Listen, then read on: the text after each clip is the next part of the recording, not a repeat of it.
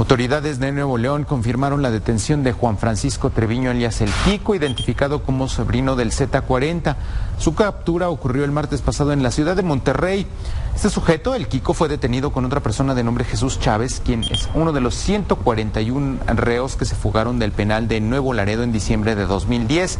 De acuerdo con las autoridades, ambos operaban en Nuevo Laredo y fueron enviados a Monterrey para hacerse el control de las operaciones del cártel de los Zetas y reorganizar algunas plazas en la entidad. Ambos detenidos ya se encuentran en la Siedo y se espera que pronto sean presentados ante los medios.